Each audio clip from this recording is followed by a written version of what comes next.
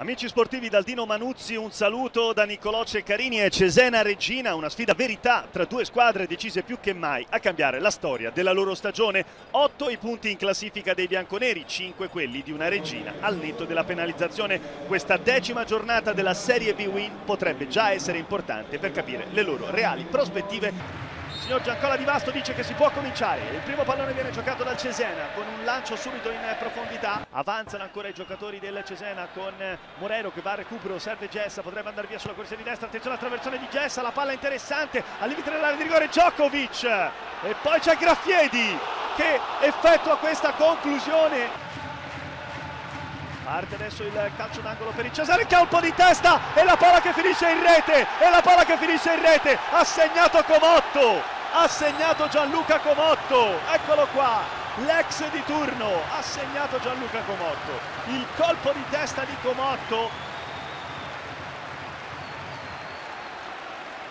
Opportunità ancora per Fischnaller, prova a girarsi, tocca ancora per Rizzato, va attraverso Rizzato, area di rigore, attenzione il tiro, la palla che finisce sul palo, Ceravolo e poi il rischio autogol.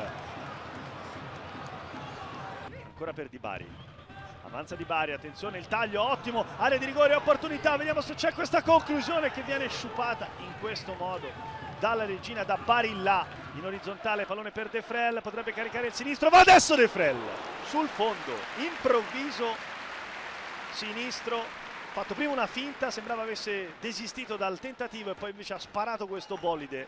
Il pallone che però viene recuperato dalla regina, c'è questa conclusione dalla distanza e poi bravissimo, bravissimo Belardi a mettere il pallone in calcio d'angolo sul tiro improvviso di Barilla.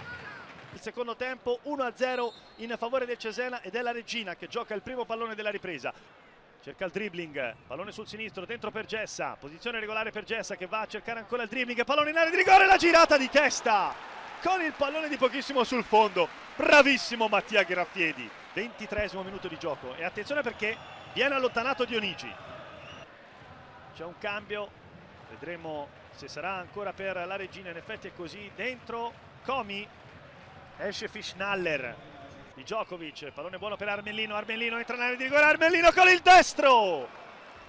Belardi in calcio d'angolo. Resta Ceravolo, va altra versione Ceravolo, molto alto questo pallone all'interno dell'area di rigore, attenzione, opportunità con il sinistro! Di Comi sul fondo. Lascia il pallone a Ceravolo, mette dentro questo pallone a Ceravolo, attenzione una mischia che si accende, poi arriva il colpo di testa e c'è il pareggio, e c'è il pareggio della Regina che però viene annullato. Il pareggio della Regina con Di Bari che viene annullato dal direttore di gara.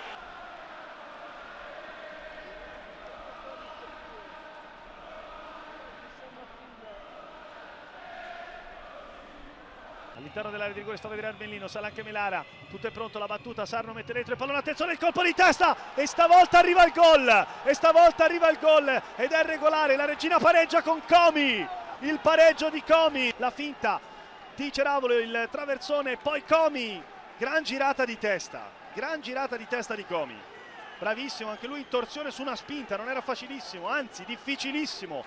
Ecco il calcio di punizione parte Succi il destro! Forse c'è stata anche la deviazione. Parte il rilancio di Baiocco e finisce qui finisce qui è 1-1 tra Cesena e Regina. Occasione persa per il Cesena grande reazione della Regina